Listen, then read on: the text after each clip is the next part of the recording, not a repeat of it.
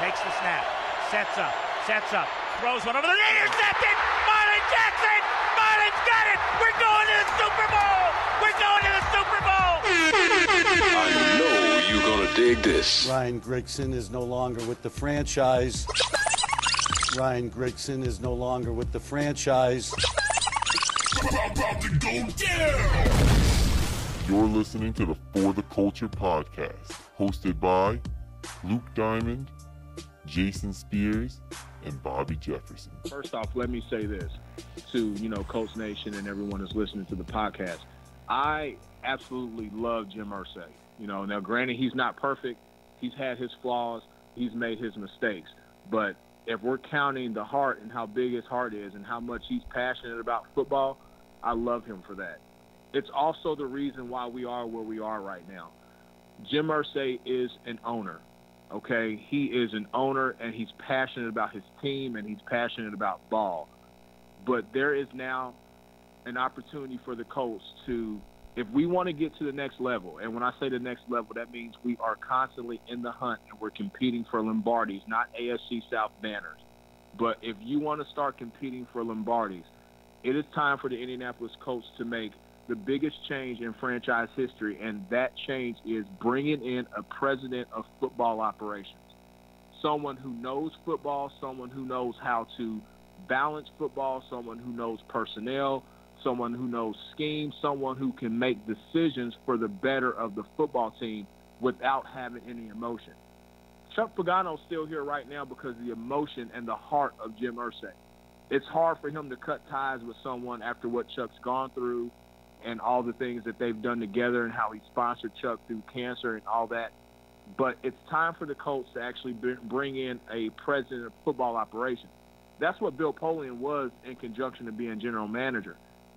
I think that would be the move that would put the Colts on pace to start competing and competing fast because if you bring in someone who's able to work with Ballard and his staff and start putting things together where the owner can just be the owner and do all the PR stuff. You can tweet all you want to, but when it comes time to make a football decision as far as hey, Luck may not be ready. What are we going to do? Oh well, let's let's just keep Scott Tolzien because Chuck says it's a good idea. No, your new football operations person will say, hey, look, to better this football team, this is what we need to do me and Chris are going to sit down and we're going to come up with something and we're going to let you know exactly what we're doing. If you trust us enough with the franchise, then trust us enough to know that we're going to make the best decision for the horseshoe. And I think the reason why we have stunted our growth as far as a football team is the fact that our owner is now in the day-to-day operations of the football team. And he had to do that because he had a first-year general manager in Ryan Grigson, and he had to actually babysit him and because he was doing so much babysitting, he basically put himself right back into front office decisions, and it has handicapped us. And I'm I'm with you.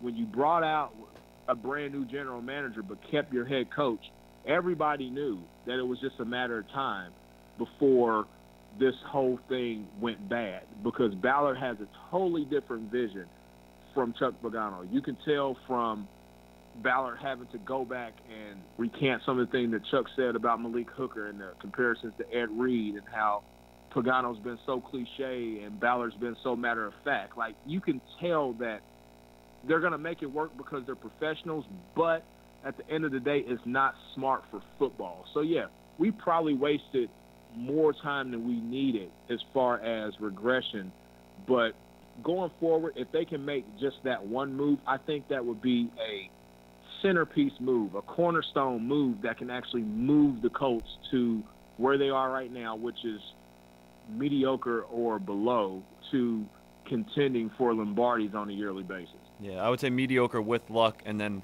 far below mediocre without luck, and I like that. And like you said, like I, you're definitely bigger on Irsay all in all than I am. Maybe it's because you're more part of the community, living in Indy and being a season ticket holder and stuff. But I love his passion. I love how much he loves the Colts.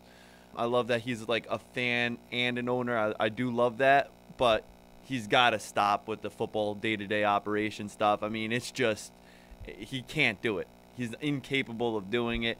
A lot of the blame, and I like I'm the biggest fire Chuck guy. I was the biggest fire Ryan Grigson guy, fire Gargano.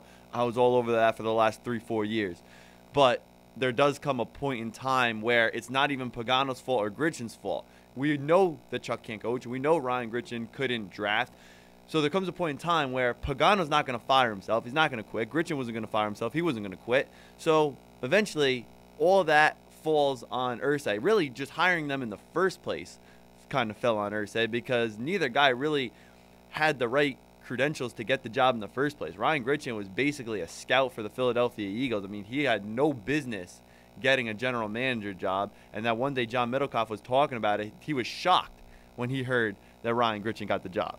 It was shocking in the Eagles organization that Ryan Grigson went out and somehow found a general manager job and then for him to hire them in the first place and then to let it go on as long as it did and then even this offseason to force Pagano on Ballard and not give Ballard the opportunity to go out and hire his own head coach. And you brought up a good point fighting with Chuck through cancer, Chuck Strong and all that stuff, the personal connection they had and the bond they had going through that, it definitely makes it a lot tougher for Irsay with their personal connection and the journey they went through together in 2012 than us fans. But at the end of the day, this is a business. We're a football team that's trying to win games, and enough is enough. You need to bring in a guy who could run the day to day football operations, work with Ballard, work with Ballard to hire a new head coach after the 2017 season, and get this team in a position to go out and compete for Lombardis and win Super Bowls because we've wasted six years of Andrew Luck's career. Today's his birthday. How old is he? 29 years old? 28, 29, something 28, like that. 20. I mean, we talk about him. Everybody talks about him. Greatest young quarterback in the league. I mean, he's almost 30 years old. I mean, he's he's aging before our eyes. He's six years into his career. Like you said, might not even play the season. Who knows if he's not ready till the halfway point and we're 0 and 8? What's the point of even throwing him out there? Just get him hurt for 2018 behind this offensive line. So we've wasted six years of a generational talent, a guy you see once every 10, 15 years. He's that good. He's that special of a quarterback. And to waste as many years of this man's career as we already have is sacrilegious to the game of football. It's not fair to Andrew Luck. If I was Oliver Luck, I would be going on national media tirades every day about how unfair my son is treated in Indianapolis. You had Ryan Grigson and Chuck Pagano basically verbally abusing him in the media. Some of the quotes Ryan Grigson has had about him in his contract, I mean, just made me sick. And the fact that this has gone on for six years just really, really, really upsets me. It really pisses me off. And something has to be done, something will be done. And I love the idea of bringing in a football operations guy, somebody to run the day to day operations, so we could just kind of ease Irsay out of that role and just let him be the owner and only the owner.